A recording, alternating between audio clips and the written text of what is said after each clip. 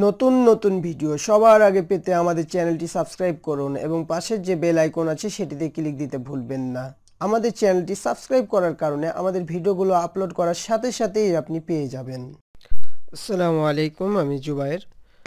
আজকে ফাংশনের টিউটোরিয়ালের তৃতীয় পর্বে দেখব যে কীভাবে আমরা I I F E iffy যেটা ইমিডিয়েটলি ইনভলভ ফাংশন এক্সপ্রেশন যেটা, সেটা, যে ফাংশনটা একাই একাই কল হয়ে যায় সে ফাংশনটা কীভাবে আমরা তৈরি করব সেটা।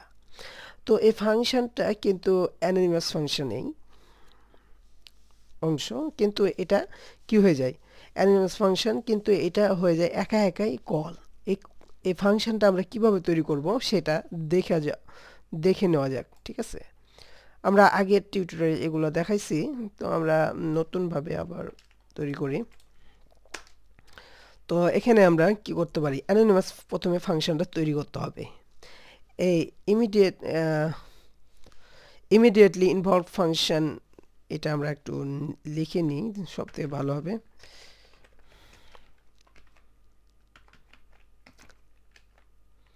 Immediately involved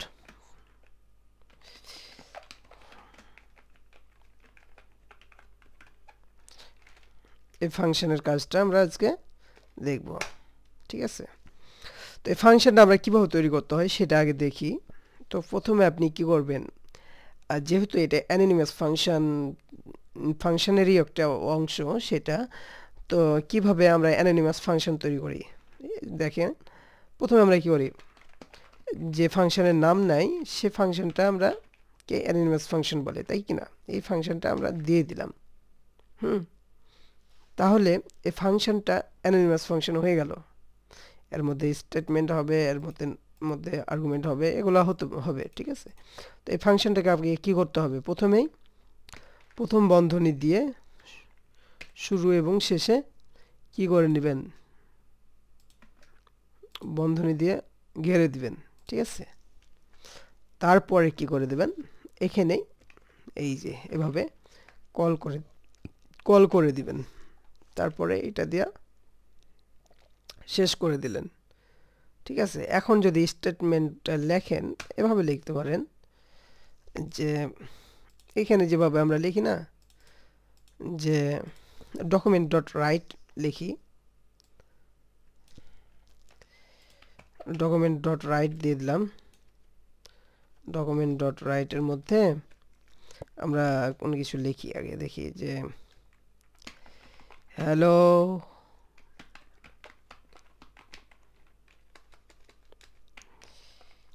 নিমাস। Hello, anonymous. বা এটার নাম যেটা, ইফি। হুম। এটার সংক্ষিপ্ত নাম যেটা, ইফি। সেটা দিলাম। দেওয়ার পর আমি যদি এখন দেখেন, হ্যালো, অ্যানোনিমাস, ইফি। তাই চলে আসলো। তার কারণটা হচ্ছে কি, দেখেন যে আমরা এখানে কিন্তু অন্যান্য ফাংশন কিন্তু কল করতে হয়, কিন্তু এখানে কল করা হয়নি। এখানে কিন্তু কলটা এভাবেই করে দিয়েছি, এখানে দেখেন এভাবেই কলটা করা হয়ে গেছে।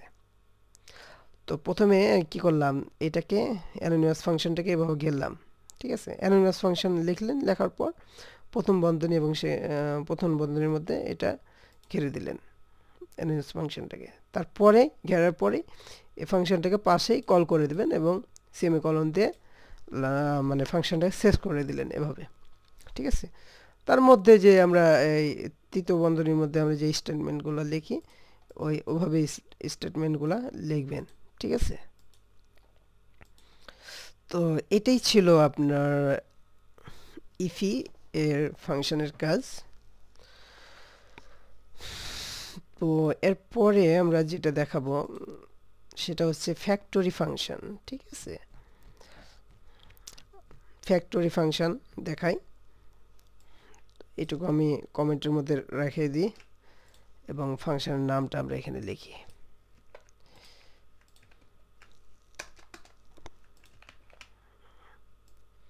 এখানে ফাংশনের নাম হচ্ছে ফ্যাক্টরি ফ্যাক্টরি ফাংশন ঠিক আছে? ফ্যাক্টরি ফাংশনটা এরকম যে প্রথমে আপনি একটা ফাংশন লিখি নর্মাল ফাংশন লিখি। ফাংশনের নাম হয় কি? যে আমি মোবাইলই দিলাম। মোবাইল দিলাম ফাংশনের নাম। এবং শুরু এবং শেষ, যেভাবে শেষ করতে হয় সেটাই করলাম। তো এটার কীভাবে কাজ করে দেখেন? এটা কিন্তু একটা অবজেক্ট নিয়ে কাজ করবে, ঠিক আছে? অবজেক্ট লিখি কীভাবে? এই যে তৃতীয় বন্ধনীর মধ্যে অবজেক্টগুলো কিন্তু আমরা এভাবে লিখি। তো এই অবজেক্টটাকে রিটার্ন করতে হবে রিটার্ন এখানে অবজেক্টটা এর মধ্যে আপনি ধরেন যে মোবাইল এখানে মডেল লিখলেন, ঠিক আছে? একটা মোবাইলের কি থাকে? মডেল থাকে। এখানে মডেলটা আপনি এরকম ধরনের কিছু একটা দিয়ে দিলাম। যে সেভেনই দিলাম, ঠিক আছে? তো এটা এটু কি করতে হবে? স্ট্রিং এর মধ্যে লিখতে হবে হ্যাঁ? এরকম যে, তো আমি মোবাইলটাকে আগে কি করি? কল করি। কল যেহেতু করি কল না করলে কাজ হবে না। তো এটাকে আমি কি করলাম? ও, এখানে কিন্তু সেমিকলন হবে না। এখানে এখানে কি করতে হয়? একটা করে এখানে একটা করে কমা দিতে হয়। আর একটা যদি আমি অবজেক্ট লিখি, তাহলে কমা দিতে হতো। আর এখানে একটা সেমিকলন লাগবে। কল করছে যেহেতু। তো কল করার সাথে সাথে কি করবে? এটা এটা রিটার্ন করে দিবে। তাই কি না তো ফ্যাক্টরি ফাংশনের যে কাজটা সেটা করার জন্য আমরা এখানে একটা দেখেন, এখানে কোনো আর্গুমেন্ট এখানে ডকুমেন্ট ডট রাইট দিয়েই বুঝাই এটা একটা, এটাকে আমি আপাতত উঠাই দিলাম। তো এখানে যখন কল করবে কিনা তখন এইটুকু দেখাবে, এটা তো বুঝতে পারছেন। এইটুকু দেখাচ্ছে হ্যাঁ? যখন কল করছি, এটাকে তখন এর এতটুকু দেখাচ্ছে। আমরা যখন এটাকে এখন ই করব, তখন কি করবে? এইটুকু এ ফাংশনের মধ্যে চলে যাবে। তাই কি না? তো আমরা যখন এখানে একটা প্যারামিটার দিব, তখন এই প্যারামিটারটা এখানে যাবে। এখানে ধরেন যে আপনি মডেল মডেল নামে একটা কি দিলেন? প্যারামিটার দিলেন মানে এটা একটা ভ্যারিয়েবল দিলেন। এখানে যে মানটা দিবেন মডেলের, সেটাই কিন্তু ওখানে চলে যাবে, তাই কি না? চলে যাবে। এখানে যে সেভেন দিয়েছি, এখানে যে সেভেন দেন, যে সেভেন। তো এই মডেলটা যখন আমি এখানে দিব, তখন কি করছে? যে সেভেনটা এর মধ্যে চলে গেছে। আমরা এটাকে যদি আমরা একটা প্রিন্ট করি, তাহলে দেখতে পাবো ডকুমেন্ট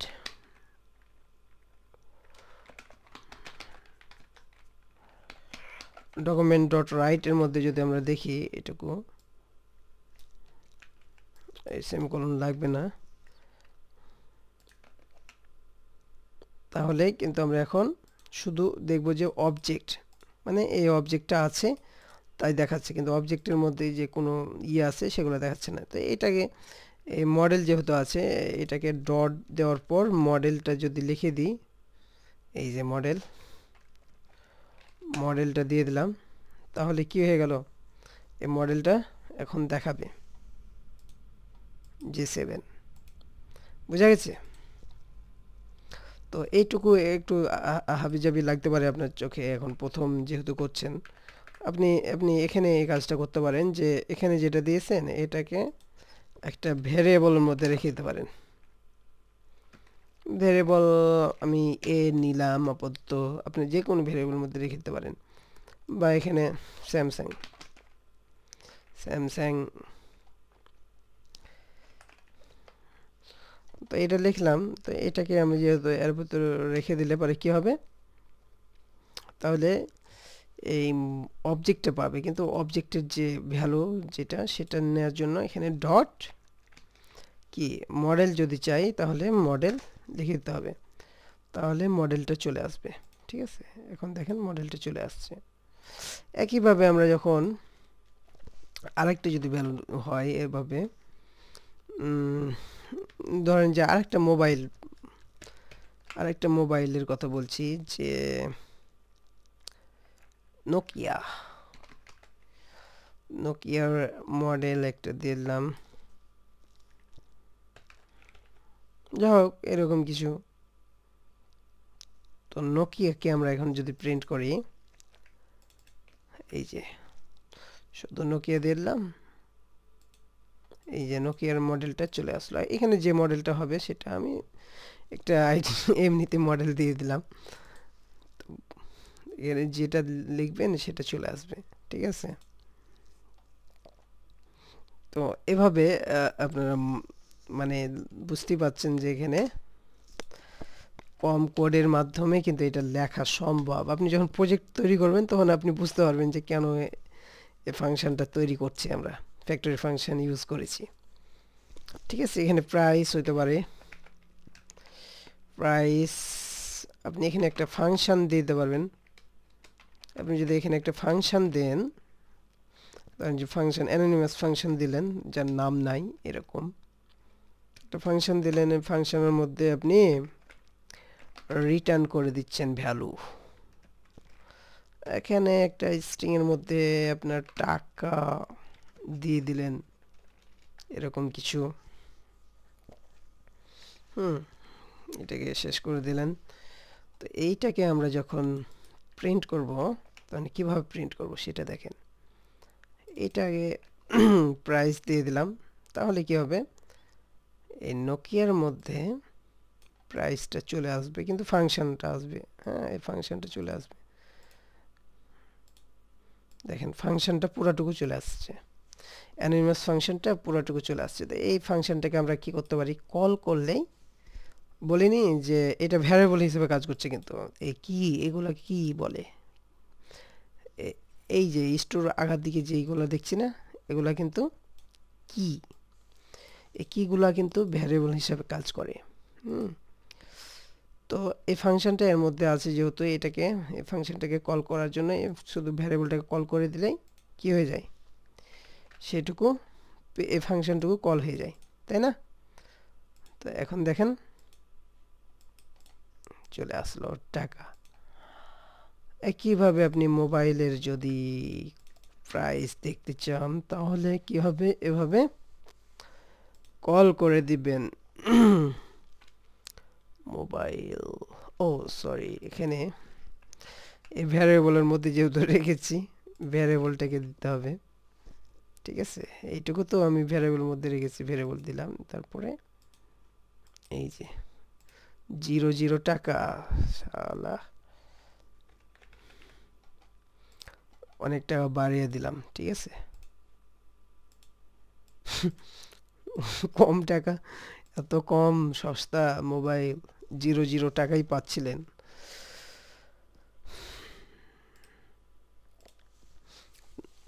টাকা অনেক বাড়িয়ে দিলাম, এখন মোবাইল দাম কিন্তু অনেক বেড়ে গেছে এখন, ঠিক আছে? তো এখন এভাবেই কিন্তু আপনারা ফাংশনটা ইউজ করবেন। যখন আপনার কাজে লাগবে তখন কিন্তু আপনি এই ফাংশনটার কি কি যে ভ্যালু, সেটা তখন বুঝতে পারবেন। এখন জাস্ট ফাংশনটা শিখে রাখেন। এখন আরেকটা ফাংশন দেখাবো। আজকে কিন্তু ফাংশনের ক্লাস শেষ করে দিব। ঠিক আছে? তারপরে নতুন নতুন যে একটা ফাংশন পাওয়া যাবে, সেগুলা নিয়ে তখন টিউটোরিয়াল করে দেখাবো। তো আজকের ফাংশনের ক্লাসে আমরা দেখাবো ফ্যাক্টরি দেখাইলাম। ফ্যাক্টরি অ্যারো ফাংশন দেখাবো আজকে। অ্যারো ফাংশন অ্যারো ফাংশন কীভাবে কাজ করে? দেখেন অ্যারো ফাংশন কিন্তু একটা খুব খুব একটা মজার ফাংশন আমি কিন্তু অনেক কথা বলতে বলতে একটু ই হয়ে গেছি। তো আপনারা কি হবে না মন খারাপ করবেন না যে অন্যরকমভাবে কথা বলছি? যেহেতু আমি একটা না অনেকক্ষণ ধরে টিউটোরিয়াল বানালাম ফাংশানের টিউটোরিয়ালগুলো একদিনেই আমি বানিয়ে শেষ করে দিলাম। অনেকক্ষণ ধরে বানাচ্ছি তো, তাই একটু ইয়ে লাগছে। তো আপনারা দেখেন, একটু কষ্ট করে দেখবেন টিউটোরিয়ালগুলা দেখলে পারে টিউটোরিয়াল দেখলে পারে আপনার দেখা যে ফাংশন নিয়ে যে চিন, আপনার যে একটা ভয় থাকে, সে ভয়টুকু আর থাকবে না। ঠিক আছে? তো অ্যারো ফাংশন দেখেন অ্যারো ফাংশনটা কীভাবে ডিক্লেয়ার করতে হয়? অ্যারো ফাংশন ডিক্লেয়ার করা অ্যারো ফাংশনটাকে কিন্তু একটা ভ্যারিয়েবলের মধ্যে অ্যাসাইন করতে হবে। তার জন্য আমরা প্রথমেই একটা ভ্যারিয়েবল নিয়ে নিই। এখন ভ্যারিয়েবল নেম ভ্যারি ভ্যারিয়েবল নেম একটা ভ্যারিয়েবলের নাম দিলেন যে কোন নাম। দেওয়ার পর এই হ্যারে- এই ভ্যারিয়েবলের মধ্যে ওই অ্যারো ফাংশনটাকে কি করতে হবে? অ্যাসাইন করতে হবে। রাখতে হবে। তো ফাংশনটা এভাবে শুরু করবেন, এটাই একটা ফাংশন হয়ে গেল, ঠিক আছে? কোনো কিওয়ার্ড লাগবে না, কোনো ফাংশনের নাম লাগবে না, কোনো কিছুই লাগবে না। শুধু এই যে প্রথম বন্ধনী প্রথম বন্ধনী শুরু এবং শেষ করবেন, তাহলেই আপনার একটা ফাংশনের হয়ে গেল। তারপরে আপনি এই অ্যারো ইকুয়াল চিহ্ন দেওয়ার পর গ্রেটার দেন দিয়ে দিলেন, তাহলেই এটা অ্যারো ফাংশন হয়ে গেল। এবং লাস্টে যে এটা ব্যবহার করি না, তাহলে এইটুকু হচ্ছে আপনার একটা ফাংশন মজার একটা জিনিস না? দেখেন এই, এইটুকু নাকি বলে আপনার ফাংশন আগে তো কত বড় কোড লেখার পর একটা ফাংশন হয়েছে। এখানে শুধু এগুলা ব্যবহার করছেন, তাই এইটুকুতেই ফাংশন হয়ে গেল। তো এর মধ্যে আপনার প্যারামিটারগুলো লিখতে হবে এবং এর মধ্যে স্টেটমেন্টগুলো লিখতে হবে, ঠিক আছে? তো আমি এর মধ্যে স্টেটমেন্টগুলো লিখে আপনাদের দেখাই দিই। তো এখানে একটা সেমিকলন দিলাম। তো সেমিকলন দেওয়ার দরকার নেই, এটা এটা যেহেতু এটা আপডেট ভার্সন তার কারণে এখানে কি দেখাচ্ছে? এখানে হচ্ছে অর্নিং দেখাচ্ছে। ঠিক আছে? তো এটা দেখাল সমস্যা নেই, কাজ করবে। হুম? তো এই ভ্যারিয়েবলটা রেখেছি কিনা? এখানে আমি ডকুমেন্ট ডট রাইট করি। ডকুমেন্ট ডট রাইট করলাম এবং এর মধ্যে আমি একটা স্ট্রিং লিখে দিই। This is arrow this is arrow function লিখ- লিখলাম ঠিক আছে? এই স্টেটের মধ্যে আমি দিস ইজ অ্যারো ফাংশন লিখলাম এবং এই যে বলেছিলাম না যে ভ্যারিয়েবল ভ্যারিয়েবলটাকে কি করতে হবে? ফাংশনটা যেহেতু ভ্যারিয়েবলের মধ্যে আছে ফাংশনটাকে এই ভ্যারিয়েবলটাকে যদি কল করেন এভাবে, তাহলে কি হয়ে যাবে? এই ফাংশনটা কল হয়ে যাবে। তো এখানে দেখেন this is arrow function call হয়ে গেছে। বুঝতেই পাচ্ছেন? আগের যে ফাংশন কাজ করতো, এই- এই ফাংশনও একই কাজ করবে। ঠিক আছে? তো এখানে আরও অনেক সুবিধা আছে। দেখেন যে আগে আমরা প্যারামিটার পাস করেছি, এর মধ্যে এটা তো পাস করতে পারবেন। এই যে এই দিয়ে দিলাম এখানে। এবং এখানে যদি আমরা করি, দিই, তাহলে এখনও করি শো করবে। আগে কি করেছি যে, এর মধ্যে আপনি বন্ধনীর মধ্যে দিয়ে রেখেছেন। আপনি যদি বন্ধনী না দেন, শুধু একটাই দেন, প্যারামিটার শুধু এ তাহলে কি করবে? বন্ধনী দেওয়ারও দরকার হবে না আপনার। কাজ করবে, একই কাজ করবে। আপনি যদি একের অধিক দেন প্যারামিটার ধরেন যে আপনি বি দিলেন এবং এখানে বি এর একটা মান দিয়ে দিই, তাহলে কিন্তু এখন কাজ করবে না, এখানে বি প্লাস দি এখন কিন্তু কাজ করবে না। এখন একের বেশির প্যারামিটার হয়ে গেলে তখন কিন্তু আপনাকে অবশ্যই কি করতে হবে? প্রথম বন্ধনীর মধ্যেই রাখতে হবে। এখন কাজ করছে, যোগ করে আপনাকে দিয়ে দিয়েছে।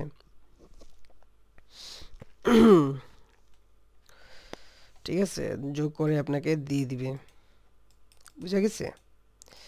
তাহলে কত সহজ, বুঝতে পারছেন ব্যাপারটা? আপনি যদি এখানে এই বন্ধনীটা না ইউজ করেন তাহলে কি হয় দেখেন? তাও কাজ করছে। বুঝতে পারছেন? এটাকে আপনি এখানে যে তৃতীয় বন্ধনী ব্যবহার করছিলেন, সেটা ব্যবহার করছেন না। তারপরও কি হচ্ছে? কাজ করছে। আপনি যখন আবার এটাকে কপি করে নিই ডবল করছেন, হুম, কিন্তু এর মধ্যে একটা স্ট্রিং দিই আমি একটা। স্ট্রিং দিচ্ছি, তখন কি করেছে দেখেন? তখন কিন্তু নিচেরটা কিন্তু উপরে চলে আসছে, তাই না? ঝামেলা করছে। কাজ করছে কিন্তু ঝামেলা করছে। আর একটা সরি বা আর একটা যদি কোনো কিছু লিখি, তাহলে দেখেন, সেটা একবার উপরে নিচে মানে ঝামেলা করছে। তো আপনি তখন কি করবেন? একের বেশি স্টেটমেন্ট লিখবেন যখন, তখন আপনি তৃতীয় তৃতীয় বন্ধনীর মধ্যে তখন লিখবেন। বুঝা গেছে? এই তৃতীয় বন্ধনীর মধ্যে লিখবেন এই হলুদ আর এই হলুদের মধ্যে। এখন দেখেন, এখন কিন্তু প্রথম থেকে শেষ পর্যন্ত ঠিকই কাজ করছে। তাহলে বুঝতেই পাচ্ছেন কত মানে সুবিধা হচ্ছে। আপনার কম লেখাতে অনেক সুবিধা পাচ্ছেন, ঠিক আছে? সব কিছুরই সুবিধা পাচ্ছেন। কম করে। তবে এখানে দেখা যাচ্ছে যে আপনার, এত বেশি সুবিধার কারণে দেখা যাচ্ছে আপনি নিজেই ভুলে যাবেন যে কোনটা কীভাবে কাজ করছে, ঠিক আছে?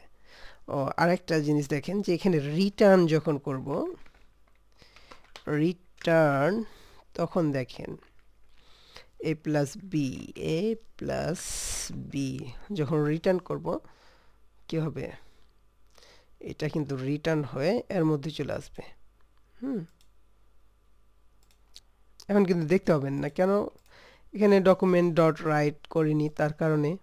তো এখানে একটা ডকুমেন্ট ডট রাইট এবং ভ্যারিয়েবলটাকে একটা ভ্যারিয়েবলের মধ্যে নিয়ে নিই আর একটা এ নামের ভ্যারিয়েবলের মধ্যে এটা দিয়ে দিলাম। ডকুমেন্ট ডট রাইটের ফাংশনের মধ্যে আমি দিয়ে দিলাম। এখন দেখেন। এনে কোনো কিছু ভুল করেছি কি? এখানে আমি একটা সেমিকলন দিয়ে দিলাম। সেমিকলন দিয়ে এটাকে শেষ করলাম, এটা বুঝাবো। ঠিক আছে? তো এই যখন আমরা একটা আমরা ভ্যালু নিই, দেখেন। যখন আমরা একটা ভ্যালু নিব, তখন কিন্তু কোনো বন্ধনী ইউজ করা লাগবে না।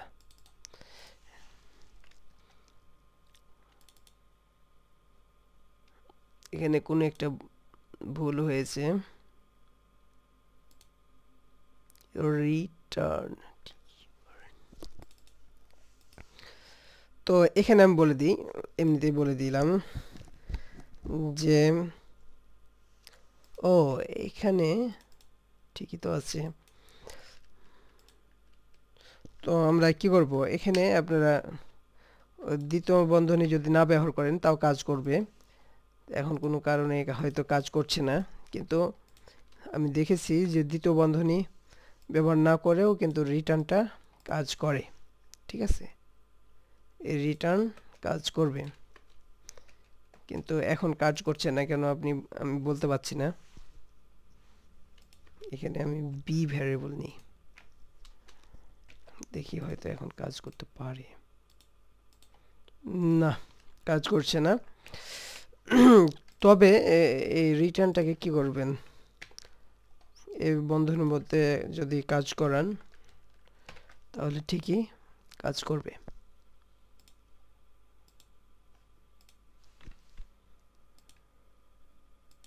আসলে আমাদের কোডের মধ্যে কোনো ভুল আছে হয়তো। রিটার্ন এ এ ও এখানে আমরা দিইনি এবার কিন্তু কাজ করবে এই যে। ঠিক আছে? বুঝে গেছে ব্যাপারটা?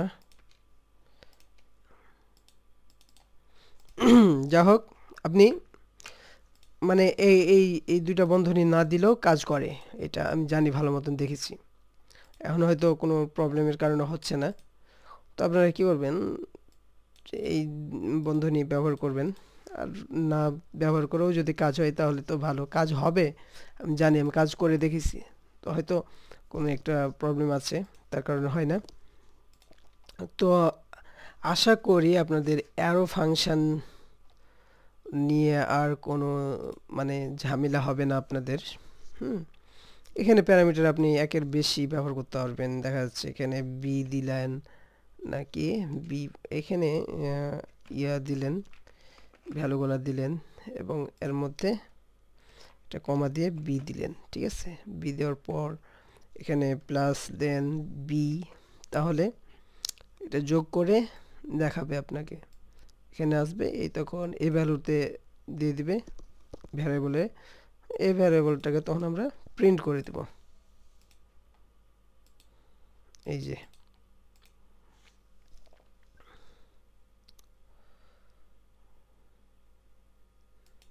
একটু কম ভ্যালু দিই। বেশি ভ্যালু হয়ে যাচ্ছে তো, যোগ হচ্ছে কি হচ্ছে না, বুঝতে হয়তো অসুবিধা হবে। এখানে দেখেন আর ষাট ঠিকই আছে, যোগ হচ্ছে। তো আজকের টিউটোরিয়াল এ পর্যন্ত। আশা করি আপনাদের ফাংশন নিয়ে আর কোনো ঝামেলা হবে না। তারপরেও যদি হয় তাহলে পরবর্তীতে আমরা টিউটোরিয়াল আরও দেখব। ঠিক আছে? আরও পরবর্তীতে আরও কিছু ফাংশনের টিউটোরিয়াল আমরা দিব। তো আপনারা কি করবেন, আমাদের চ্যানেলে সাবস্ক্রাইব করবেন আর লাইক করতে ভুলবেন না কমেন্ট করতে ভুলবেন না। এ বলে আমার টিউটোরিয়াল শেষ করছি। আল্লাহ হাফিজ।